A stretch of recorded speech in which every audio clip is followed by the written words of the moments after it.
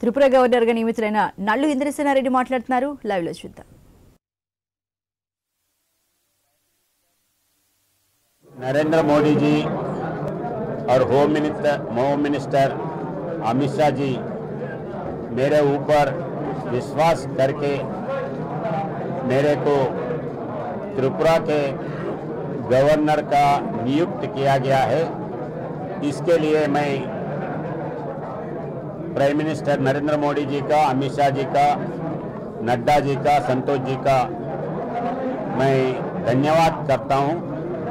और मेरे मेरे को ये पोजीशन दिलाने में, मेरे इमेज बढ़ा, बढ़ाने के लिए मेरे को तीन बार एमएलए चुने हुए सो, ये मलकपेट, आम पब्लिक आम वोटर्स को मैं हृदय से धन्यवाद देता हूँ। इसके लिए तीन बार एमएलए बनने में कृषि करे से जो कार्यकर्ता है छोटे छोटे एंगेज में काम करके मेरे को 1983, 85 और 99 में जो जिताए हैं ये यशस्व उनको जाएगा ये मैं कर, मैं मेरा विनती है।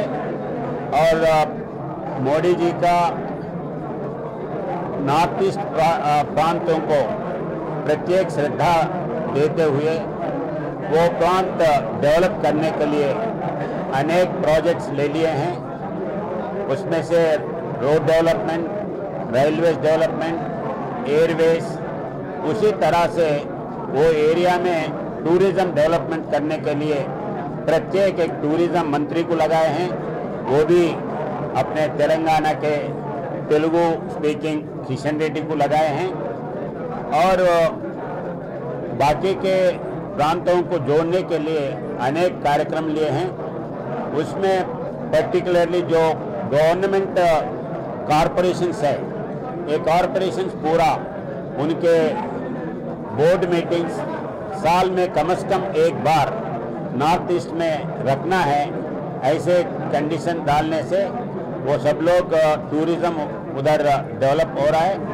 और जितने भी कार्यकर्ता अभी गवर्नर्स बने हैं, वो सब जो 40 साल 50 साल से काम करते हुए आए सो वर्करों को रिकग्निशन मिला मिला है, उसी इसी सिलसिले में मेरे को भी पार्टी रिकग्नाइज करके ये रिस्पॉन्सिबिलिटी दिए हैं।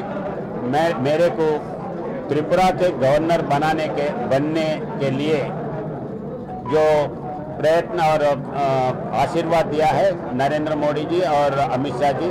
उनको मैं हृदय से और मलकपेट के आम पब्लिक के तरफ़ से वर्कर्स के तरफ़ से प्रत्येक धन्यवाद देता हूँ।